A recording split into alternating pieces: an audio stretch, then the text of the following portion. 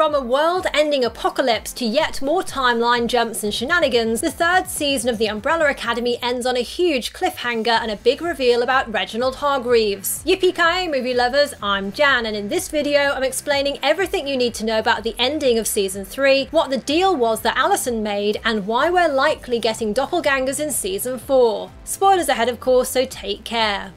When the Umbrella Academy arrived back in 2019 to find themselves replaced by the Sparrows, on the same day they arrived, a Kugelblitz, a type of black hole, appeared in the basement of the Sparrow Academy. You see, when they travelled back to the 60s, they inadvertently transferred powers to a young Harlan, who, as he grew up, found himself connected to other powered people. When his mother Sissy died on the 1st of October 1989, it was the same day the Umbrella Academy's mothers were due to give birth. As the super babies grew inside them, Harlan sensed their pain, and when this combined with his grief over Sissy's death, he accidentally killed them, preventing the Umbrella Academy team from ever being born. So when the gang arrive in this new timeline, they shouldn't actually exist, and this creates a version of the grandfather paradox. A paradox? You mean one of those things that can destroy the universe? The threat the Kugelblitz poses to the entire cosmos now explains why the Commission was so alarmed when they found out about Harlan's powers in the second season. I've never seen anything like this. The anomaly is off the charts. The Kugelblitz is unstoppable without going back in time to prevent their mothers being killed, which is impossible as the only two commission briefcases are broken. The only remedy lies in the Hotel Oblivion. The Oblivion is located in an alternate dimension, a nod to how the hotel in the comics exists in a pocket dimension and was used by Hargreaves as a prison for villains. And the numerous cockroaches that keep popping up are a reference to how the critters were served to the prisoners at the hotel in the comics. In the TV show, the Oblivion contains a machine that can rebuild the universe should it ever be destroyed. The machine is activated by the Seven Bells, which it turns out are seven of the surviving team. And when they stand on the stars on the floor of the hotel's lobby, they create the sigil which unlocks the machine. The Oblivion then reveals that it's basically an illusion for a Matrix-like machine that controls the reality of the world. Another cool detail here is the hotel floor tiling that creates an optical illusion, another pointer to the Hotel Oblivion's perception and reality altering powers. The machine then begins to pull sparks of light out of the seven members of the team, something that Allison protests as it appears to be about to kill them. The particles inside their bodies are the only things that fuel the machine. Now, these flecks of light are the ones that Hargreaves released a long time ago back on his home world, and the opening scene of season 3 confirms confirmed that they are indeed the thing that miraculously impregnated numerous women around the world, who on the same day all gave birth to superpowered children and this makes me think it was part of Hargreaves' plan to use humans as vessels for transferring the magical lights from his home world, eventually all the way to the Hotel Oblivion, where he could then extract them to power up the engine that would recreate the cosmos. With access to the machine, I think then he programmed the rebirth of the universe in a way that would prevent the apocalypse on his home planet and the death of his wife. After all, remember what he said. I've seen worlds end in ways that would knock your socks off. But you'll never forget your first, your home, your original sin. You never stop wondering, did I do enough to save the people I loved? Did you? No, but I was hoping you children could help me out with that. Season 3 also revealed that bringing his wife back to life has been a huge driving force for Hargreaves when we discover that he was keeping her body cryogenically frozen in a container on the moon. He even sent Luther there for four years on an unexplained mission to keep her safe. You wasted my life on the moon, and for what? I left you to guard the most precious thing in the universe. I even suspect that Hargreaves himself may have cycled through various loops in time in order order to figure out what combination of events would eventually lead him to discover the key to fixing the universe in his favour.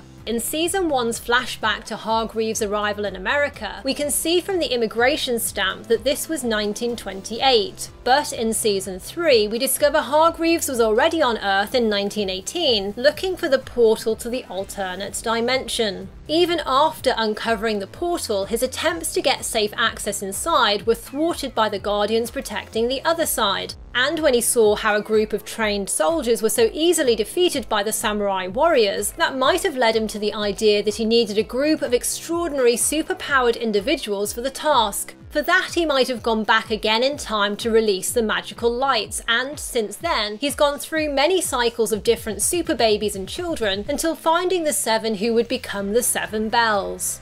Another big clue to Hargreaves' secret time travel shenanigans is the fact there's a televator sign hidden in the basement of the Sparrow Academy. In the comics, the televator is a contraption that can travel across space, time, and dimensions, and in the season 260s timeline, we saw that Hargreaves had blueprints in his office for building a televator. As he said to Five, he's witnessed numerous apocalypses before, so perhaps that's how he's escaped through time and space on several occasions. And if you like this theory or this video so far, hit that like button, I really appreciate it. But what was the deal that Allison made with Reginald on the night of Luther and Sloane's wedding? I think she offered to unite her side of the family by reconciling with them the following day, then trying to convince them to join Hargreaves' mission to the Oblivion. Although that didn't exactly work, she had tried, and so once on the other side, in return, perhaps out of some slight empathy for her given his mission was also to recover his lost love, Hargreaves programmed the new universe so that she could have the two cherished things she'd lost in all the timeline changes her daughter Claire from 2019 and her husband Ray from the 60s. I'm almost done, and when I am, you and I will get what we came here for. This new universe is Allison's idealised world where her mistakes and problems from the previous two seasons are now gone. In season 1, after Allison's husband Patrick found her using her powers on their daughter, he divorced her and took custody of Claire and in season 2, she had to leave her husband Ray, who she'd fallen in love with, so that she could travel back to the future. Now, in this new and improved timeline, Allison has managed to get the two people she loves from different times in one place. Reginald too got what he was finally after and created a world where not only is his wife Abigail still alive, but once more he's a billionaire with what looks like an even bigger business empire this time.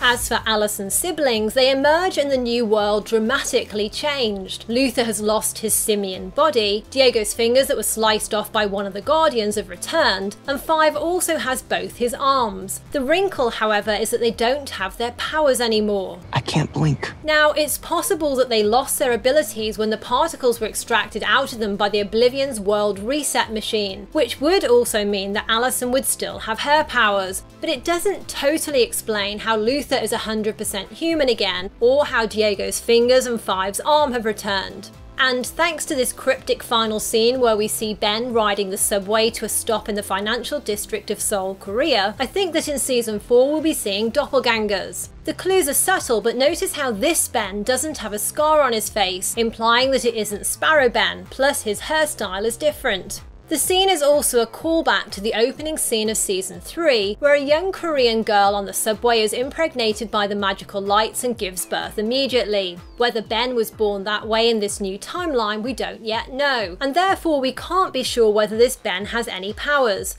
After all, Hargreaves may well have decided that he didn't need to release any magic lights this time after the adjustments he'd made to the timeline with the machine at the Oblivion.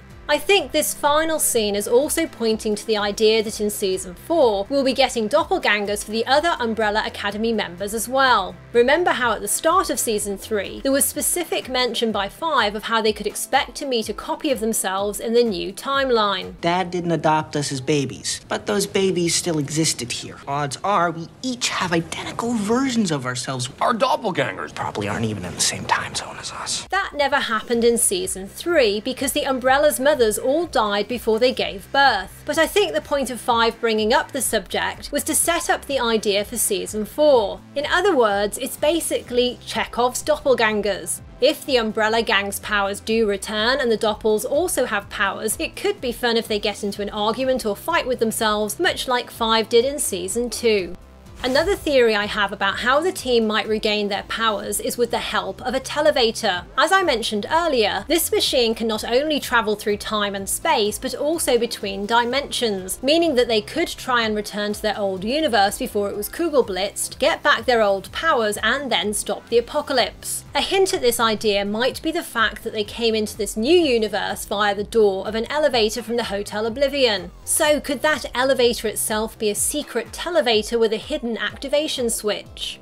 Also to be revealed in season 4 is why Sloane is missing in the final scene, given she was with the others at the moment that Allison pressed the button. I don't think she's been written out of the show, especially given that Luther has run off looking for her, and I suspect the opening scene of her reading a travel book with the Leaning Tower of Pisa on the cover is a hint that she's ended up somewhere else, perhaps Italy. And we know when she was with Luther, she talked about wanting to get away. I know there are better places out there in the world. One day, I want to see them all. I'm also curious to see what happens with Lila and Diego, especially as she's pregnant, and whether they'll end up having a super baby. Another question is how is Luther back at all given he died? Did the ghostly spirit of him that Klaus conjured up at the Oblivion mean he could be reborn into the new world? Klaus chases after Luther, so there's something between the two of them that will be explained in season 4. In fact, there were some neat clues very early on that predicted how both Klaus and Luther would end up together in the afterlife, something I explain in my season 3 Easter eggs and things you missed video, which I'll be uploading next. I'll add a link here and in the description as soon as it's ready. So, movie lovers, what do you think about the third season of The Umbrella Academy? And do you have any theories about what will happen next? Comment with your thoughts below.